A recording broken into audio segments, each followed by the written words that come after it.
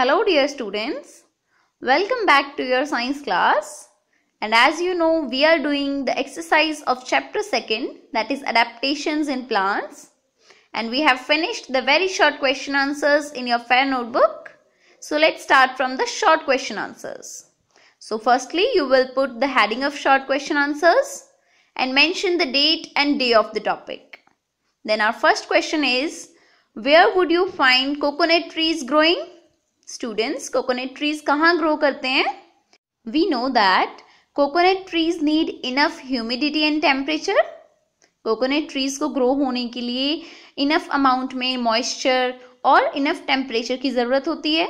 So they grow in hot and wet places okay then our second question is name the kind of plant to which lotus belongs means lotus plant aquatic plants की किस category से belong करता है?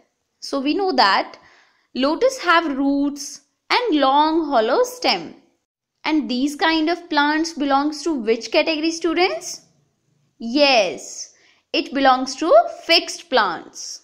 Then our next question is, how do water plants and desert plants differ from each other? कि जो water plants हैं और desert plants हैं वो एक दूसरे से अलग कैसे हैं because water plants have narrow leaves with no pores Water plants में तो बिल्कुल नैरो लीव्स होते हैं और उनके ऊपर कोई पोर्स नहीं होते। While the desert plants do not have leaves जबकि डेजर्ट प्लांट्स में तो लीव्स ही नहीं होते हैं। Then our next question is write the types of aquatic plants aquatic plants की टाइप्स कौन कौन सी हैं students there are three types of aquatic plants so first is floating plants. Second is fixed plants. And the third one is underwater plants. So, our next question is, how does a lotus plant adapt itself to live in water? Students lotus जो plant है, वो अपने आप को water में रहने के लिए अडेप्ट कैसे करता है? उसमें क्या स्पेशल फीचर्स होते हैं? Lotus plant float on the water with broad leaves and fixed roots जो लोटस प्लांट है स्टूडेंट्स वो वाटर पे फ्लोट करता रहता है वाटर पे तैरता रहता है। किसकी वजह से? अपने ब्रॉड लीव्स की वजह से जो उसके चौड़े पत्ते हैं उनकी वजह से और फिक्स्ड रूट्स की वजह से। So it breathe through the pores on the upper surface of the leaves अब बाकी प्लांट्स जो हैं वो लोअर सरफेस से ब्रीथ करते हैं बट इसका लोअर सरफेस वाटर से कवर्ड होता है। सो so, ये कहाँ से ब्रीथ करता है?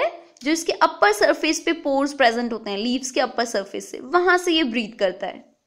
So that's how the lotus plant adapt itself to live in water okay next we will do the long question answer the question is what are the main uses of grass plants students grass plants ke kya kya uses hote hain so firstly you will mention the heading that uses of grass plants then start your answer so the first point is grass is used as food by the animals students बहुत सारे animals grass को अपने food के तौर पे use करते हैं खाते हैं ग्रास को next is Grass is used for packing. Students, it is very beneficial way of packing because by accepting this way, we can avoid the use of plastic. So, by accepting the packing of grasses, we can stop the pollution which is caused by plastics. So, our next use is some grass plants have medicinal values. Students, कुछ grass plants हैं वो medicines बनाने के लिए use किए जाते हैं.